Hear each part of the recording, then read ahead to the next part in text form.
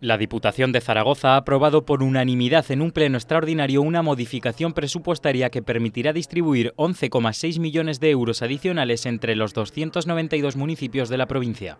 El reparto se hará a través de un plan de concertación totalmente incondicionado que los ayuntamientos podrán destinar a lo que ellos decidan. Con la modificación presupuestaria que planteamos hoy, eh, lo que tenemos eh, previsto es ejecutar en torno al 97% del presupuesto a lo largo del año. Por tanto, pues es eh, una buena ejecución y yo creo pues que es para, para estar contento. El plan de concertación permitirá equilibrar los ingresos y los gastos de los municipios zaragozanos, completará los fondos distribuidos a través del Plus y del Plan de Inversiones Sostenibles y evitará que la Diputación pierda techo de gasto. Y los ayuntamientos simplemente con aportar un certificado que lo incorporan al presupuesto, pues dispondrán de, eso, de esos fondos.